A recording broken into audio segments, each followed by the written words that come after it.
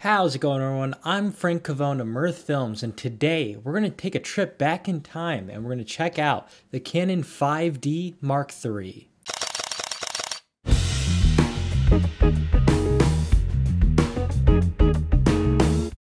The Canon 5D Mark III was released back in 2012 and is a full frame camera with 22.3 megapixels. Has a Digic 5 Plus processor and comes in roughly 33.5 ounces. So there is a couple reasons why I decided to buy this camera even though it's 10 years old. First off, I got the camera for around $350. Again, it is an older camera. Number two, it has the Canon color science. Right now I'm currently a Sony shooter. I've been a Sony shooter for about about five years and I really miss that Canon color science. There's something about it that not any other camera maker can do.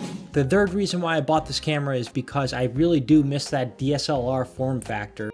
On the ergonomic side of things, this camera is a magnesium alloy body, so it's pretty tough, and it's weather sealed, so you can really use this in any condition. Something I can't say about the Sony cameras, um, they're just not weather sealed like the Canon DSLRs, and I feel a lot safer shooting with this in bad conditions. The LCD screen is also nice and bright. I really like how simple the menu system is too, because not only is it easy to use, it also matches every other menu system that exists in all Canon cameras. So no matter what Canon camera you are using, you're gonna be able to understand it and pick it up faster and easier. Now we're moving on to photo specs. And the first thing, again, this is a 22.3 megapixel full frame camera. So you're gonna get great results, better results in low light than you would in a crop sensor camera. The buffer for this camera is not that great. You can shoot six frames per second up to 18 shots. So it's not a lot. So if you're shooting sports, this is not really meant for shooting sports. The Canon 5D Mark III has 61 autofocus points, which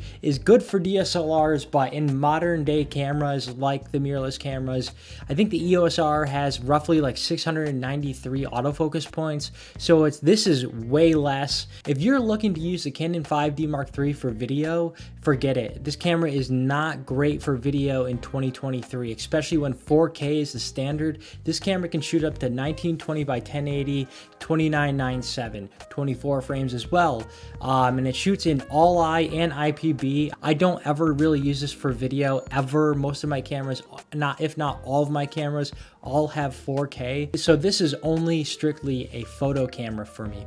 Now it's time to talk about some of the pros and cons when it comes to using the Canon 5D Mark III. And the first pro that I want to talk about is its magnesium alloy body. Its build quality is amazing. If I accidentally dropped it, I wouldn't be concerned. It's weather sealed, so shooting in the winter is fine, and even shooting in the rain is fine too, especially if you're a sports photographer. I wouldn't be so concerned using this camera. Um, it's really great for any condition hot, cold, no matter what.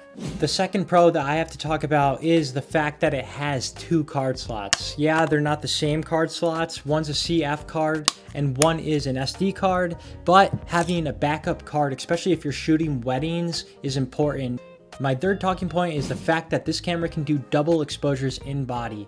It pisses me off that Sony does not do double exposures in body. I feel like it's crucial to have. I know a lot of concert photographers who use that technique and I like using that technique as well and I want that available in my cameras. So when I have a $2,500 camera that can't even do that, but can shoot 4K 10 bit and you know, this 5D Mark III is from 2012, that just bothers me. And so the, there was another huge reason why I decided to buy the camera was because I wanted to start doing that again.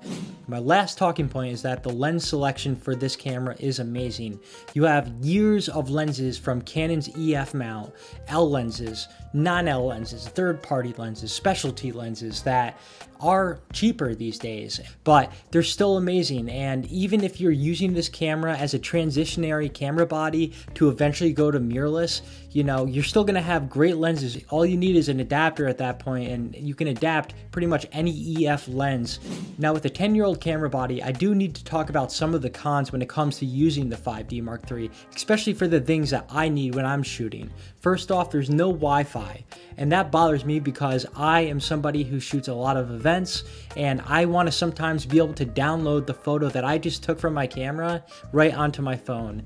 And I could do that with my Sony a7 IV. And it's funny, you can actually do it with the Canon 6D, which came out the same year as the Canon 5D Mark III, but you cannot do it in the Canon 5D Mark III.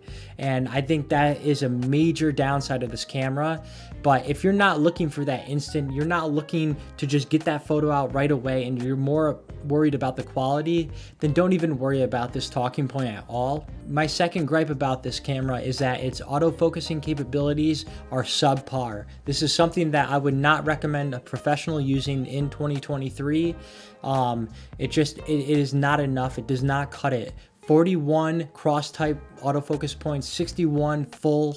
There's a lot of people out there saying that this camera is great in low light, but I absolutely do not agree with that.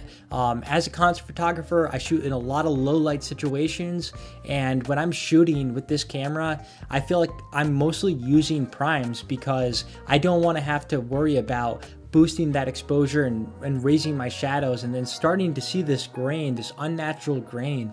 Um, it just looks hideous. And so for that reason, this camera is not that great in low light at all.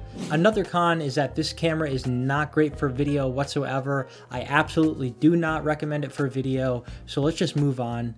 And lastly, this camera is heavy. That is a trade-off when it comes to having a DSLR. They are built like tanks, and yes, the build quality is amazing, but it is a heavy camera, and if you're carrying two cameras at one time, then yeah, it's gonna weigh you down. And I actually was just using this with the Canon EF 50mm 1.2, and it seemed pretty heavy using this. And uh, just another gripe that I have, but I'll take the build quality over heaviness. It's not really a big deal. Now, who is the Canon 5D Mark III for? I personally think that this camera is for beginners. It is the perfect beginner's camera and a great camera to learn on, and you're also going to get great results at the same time. Secondly, I think this camera is a great second body. If you have a main camera already and you want one to tag along with it and you're using Canon lenses, uh, the Canon 5D Mark III is perfect for a second body. Have you used the Canon 5D Mark III before or are you looking to buy one? Either way, let us know in the comments section down below. My name is Frank Cavone of Mirth Films and thank you for watching today's video.